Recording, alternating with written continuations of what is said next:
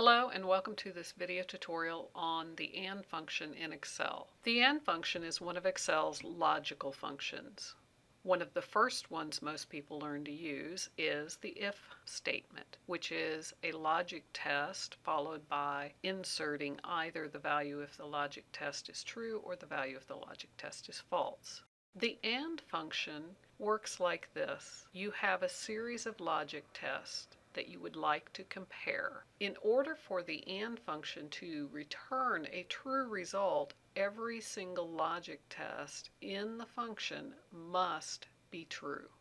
The syntax for an AND statement, as usual, starts with an equal sign, followed by AND, open parenthesis. The first argument will be your first logic test, followed by a comma. The next argument will be your next logic test, comma, if you're going to continue adding more arguments until you reach the maximum of 255. When you end, you close with a closing parenthesis. A logic test is simply something that can be compared and give you a true or false result. For example, I may want to consider the contents of B5 and see if they contain a number greater than 10, in which case I would simply put B5 greater than 10. That would be one logic test. Your logic test can use a variety of comparison operators. The usual ones we normally could think of in this, less than, less than and greater than, equals to, not equal to, greater than, greater than or equal to. Here we have an Excel spreadsheet open we're going to do an AND operation in column L of this Excel table to evaluate which are the easy sell homes.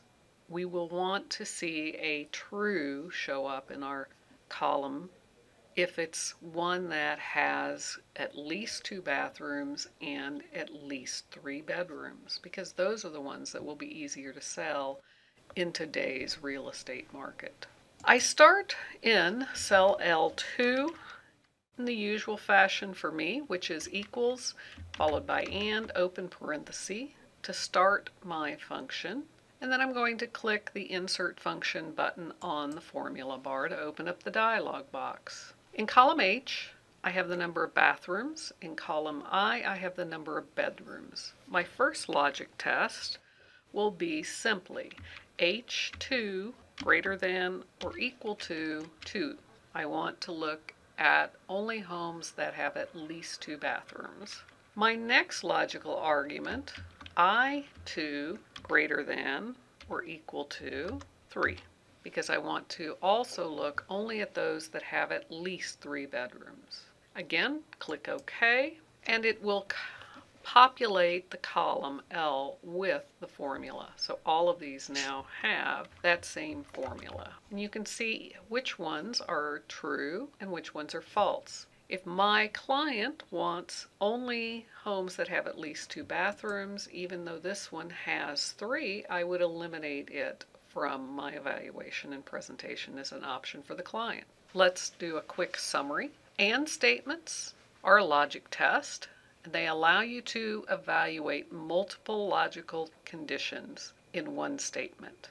They can be used as a standalone with a true or false result, or quite often you will include them in another function such as an if statement.